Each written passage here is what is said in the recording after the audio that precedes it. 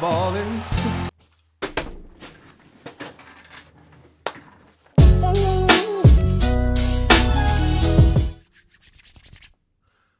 Hello, everybody, and welcome into another edition of the KSR Weekly Roundup. We are back after a week off because I got vaccinated last week, and I told myself every time Kentucky has a good basketball week and I come in here and do one of these roundups, they go and they absolutely blow it. So I was like, you know what?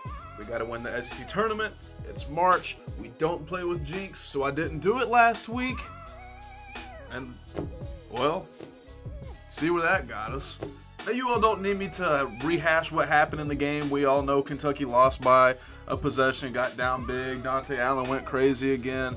Uh, BJ Boston, Devin Askew, Terrence Clarke basically contributed nothing, but it was nice to see Terrence Clarke get back on the floor.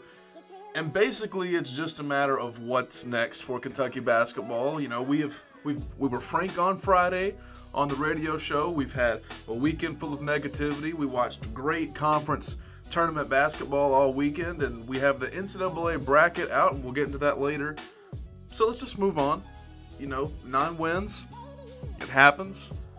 Let's give Cal mulligan. Um, he does need to be held accountable. This summer is going to be crucial for the direction of this basketball program.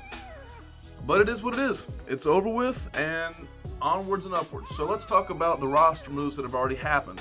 So far, Devin Askew's father announced that he, or that Devin Askew was coming back to school for his sophomore season, and Cam'Ron Fletcher, who only played in seven games this year and dealt with suspensions and then played random minutes uh, the second half of the season, just a roller coaster of a year for Cam'Ron Fletcher. He is unsurprisingly out the door and in the transfer portal. So we obviously have a massive offseason of who will stay, who will go.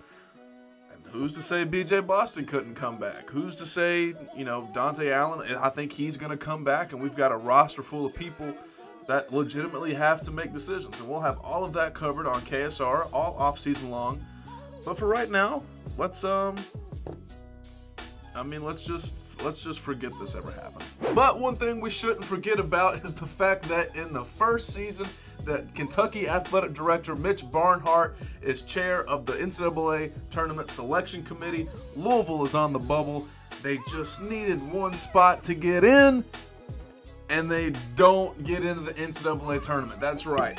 Mitch Barnhart and the NCAA Selection Committee left Louisville on the reserve list, so if something happens and a team gets COVID, like say if Rick Pitino sabotages a team, Louisville will be able to get into the NCAA tournament. Now, obviously, we hope that doesn't happen, not just because Louisville's our rival, but we don't want any team to catch COVID. We want this to be the best NCAA tournament possible, even without fans, because last year we didn't have it. But to me, I was coming in here worried. I was like, ah, man, you know, we're not going to have content for the KSR Weekly Roundup for a while. The summer grind's about to hit. But lo and behold, Mitch Barnhart swoops in, saves the day, keeps Louisville out the tournament.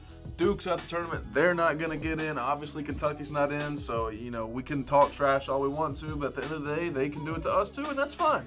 That's fine. We'll run it back next year, and everything will be back to normal. We'll have fans in the stands. We will have um, competitive basketball again, winning basketball at these great programs. Everything will be fine.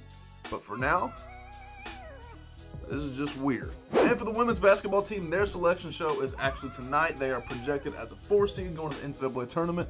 We will have their coverage down in San Antonio all throughout March. Zack Geoghegan will have you guys covered on an absolutely, what should be an absolutely phenomenal run for Rhyne Howard and the women's basketball team. That should do it for a relatively short and sweet KSR Weekly Roundup. I mean, we all saw what happened Thursday. We know it's March Madness. Everybody go fill out your brackets. We'll be doing something with uh, the NCAA tournament over at KSR like we always do. Just sit back, enjoy one stress-free March Madness. We deserve it after a long year. I think it's going to be a wild March Madness. We've got some interesting matchups like LSU's an 8 seed. Arkansas and Colgate is going to be an absolute track meet. I think Rick Pitino and Iona going up against Nate Oats in Alabama is going to be a joy. And I hope you all have a blessed week. I hope you all have a great week. Time sprung forward, days are getting longer, flowers are blooming. We're all happy here. We're all happy in the Bluegrass State. I hope you all have a great St. Patrick's Day, celebrate accordingly, and let's go bet on some NCAA tournament basketball games. I'm Brent Wayne Scott. Have a great week, everybody.